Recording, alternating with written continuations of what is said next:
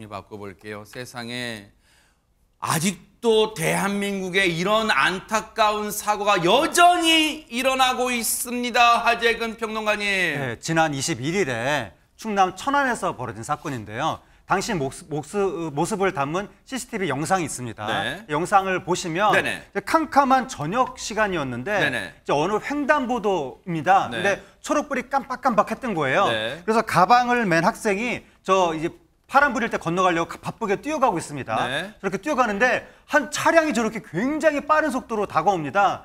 가방을 맨 학생이 차량을 보긴 한 것 같은데 세상에. 몸을 틀으려고 했지만 어머나. 저 차량이 너무 빠른 속도로 다가온 거예요. 그리고 순식간에 학생을 치고 그대로 달아나고 말았습니다. 아니 지금 보행자 신호가 물론 깜빡깜빡이는 상황이긴 하지만 어쨌든 보행자가 건너는 수 있는 시간이 그 신호잖아요. 그런데 저 차량은 지금 횡단보도가 있고 그리고 신호등이 있었을 거 아니에요. 그런데 막무가내로 지금 달려온 거잖아요 지금. 도저히 이해할 수 없는 행동이죠. 지금 말씀하신 것처럼 저 학생이 물론 깜빡거리니까 빨리 뛰려고 뛴 것 같아요. 빨리 건너려고. 근데 빠- 파란불이 켜져 있다는 말은 차량 운전자에게는 빨간불로 보이는 거잖아요. 그렇죠. 근데 저거 속도를 줄이질 않아요. 저 정도 빨간불이면 속도를 당연히 줄여야 되거든요. 어허. 근데 줄이지 않고 지금 달리는 속도를 보세요. 저기가요. 제한 속도 50km 구간이에요. 뭐라고요? 근데 저 차가 몇 킬로로 다니면 130km로 세상에 몇 배입니까? 50km 제한 속도인 차량 그 도로에서 130km 시속 130km로 신호 위반하고 달렸던 거예요. 어머나. 그래서 저 학생을 치게 만든 어머나, 거잖아요. 어머나. 이게 얼마나 황당하고 세상에 그 저 학생이 얼마나 큰 피해를 입었겠습니까? 학생은 심정지 상태로 병원으로 옮겨졌는데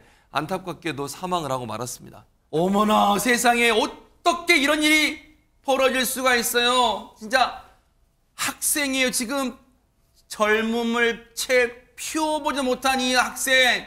정말 이 사고 소식을 접한 주변 분들도 너무 안타까운 마음을 내비치고 있는데요. 얘기 들어보시고 이어가 보도록 하겠습니다.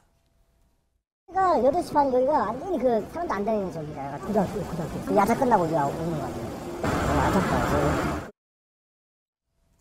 세상에 진짜 김현일 평론가님 제한 속도가 50km인 구간에 130km가 웬 말이에요 이게 지금 정말 있을 수 없는 일로 너무 안타까운 사고가 발생한 것 같습니다. 그런데 이 어, 음주 운전자는 무시무시한 과속도 모자라서 신호 위반 사고까지 냈잖아요. 아무 구호 조치도 없이 그 자리에서 그냥 그대로 지나가고 말았습니다. 아, 세상에 이 네네. 음주 뺑소니 운전자라고 불러야 될 것 같은데요. 어허. 이렇게 큰 사고를 낸 이후에도 질주를 멈추지 않았습니다. 세상에. 그 이후의 영상이 있는데요. 어허. 함께 보시죠. 네네.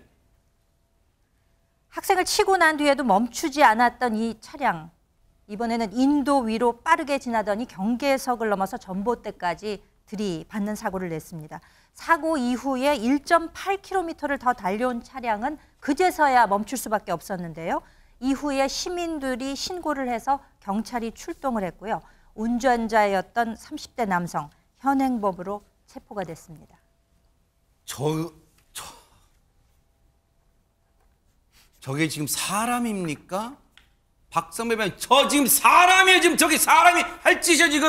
이 목격자들에 따르면 사고 차량 운전자 이 경계석과 전봇대 등을 들이받으면서 바퀴가 심하게 파손된 상태로 일단 정지됐답니다. 그럼에도 불구하고 어떻게든 빠져나오려고 계속 엑셀을 밟는 등 이상 돌발 행동을 이어나가면서 굉음이 나기도 했다고 합니다.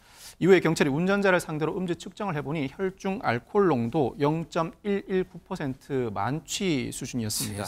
얼마나 보니- 폄하신 거예요 진짜. 그렇습니다. 이 운전자 알고 보니 평택에서 회식을 하면서 술을 마시고는 무려 20km 넘게 운전해서 천안까지 온 것이었습니다. 이 사건은 신호 위반으로 횡단보도를 건너는 보행자를 충격해 사망에 이르게 했고 상당한 속도 위반에다 만취 음주운전, 사고 도주에 무보험차 운행, 어, 도로 위 각종 위법 행위에 종합한 수준이라고 할 수 있습니다. 당신이 인간이야?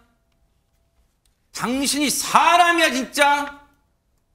그리고 회식했다면서요. 회식하면 혼자 술 먹은 거 아닐 거 아니에요. 주변에 있던 사람들이 사람이야 진짜?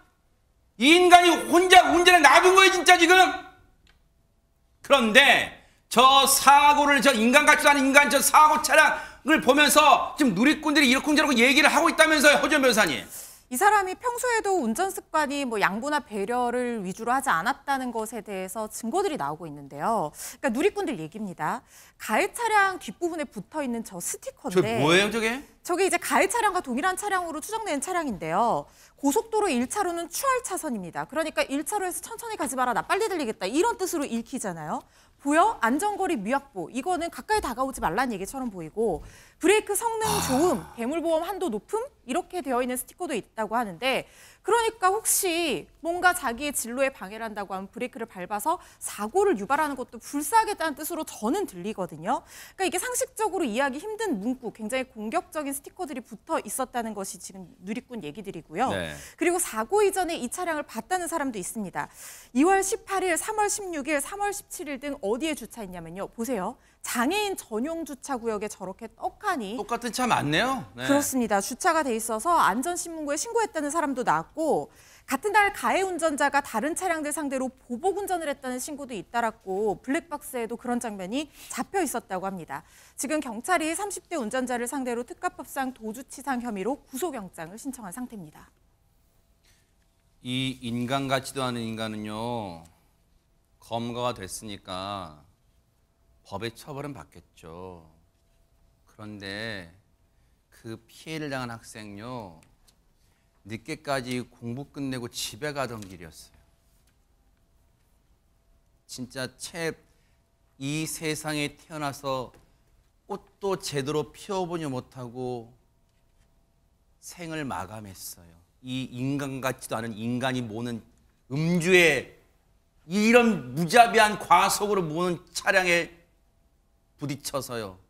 이 아이의 이 학생의 이 어처구니 없는 그리고 안타까운 희생, 이 사망 그 보상은 어디 가서 받아야 되는 거예요? 이 인간 같지도 않은 인간이 보상할 거예요?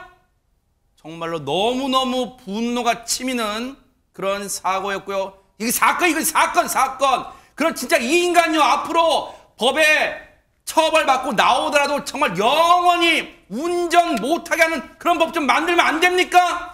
너무너무 분노가 치미는 그런 사건이었습니다.